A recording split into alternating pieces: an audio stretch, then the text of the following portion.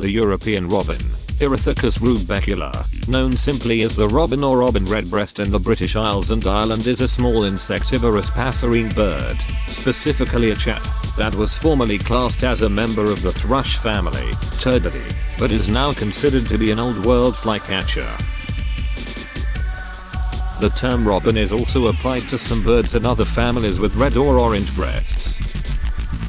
The distinctive orange breast of both sexes contributed to the European robin's original name of redbreast. Orange as the name of a color was unknown in English until the 16th century, by which time the fruit of that name had been introduced.